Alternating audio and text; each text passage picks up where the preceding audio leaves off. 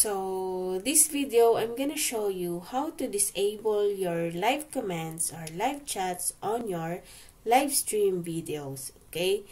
So now we're gonna go to as you can see I am here in my channel. So we're gonna go to manage your videos. You can gonna see here okay in my mouse pointing it. So we're gonna go to manage videos and then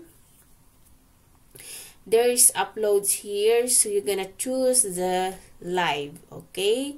We're gonna go to the live and then so I have here all my live videos. So next we're gonna go to edit okay? As you can see this pen sign click this one and then scroll down show more.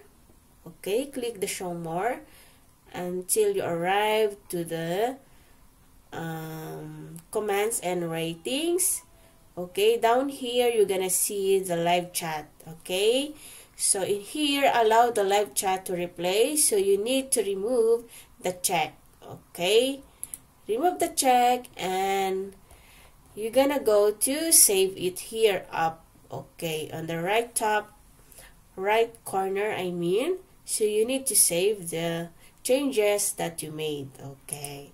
So it's saving now. So now it's saved. So we're gonna go to check if there's still a live chat. Okay?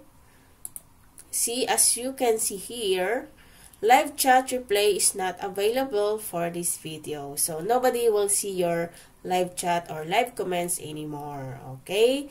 So that's it guys. I hope you understand how to disable your live comments or live chat of your live stream videos.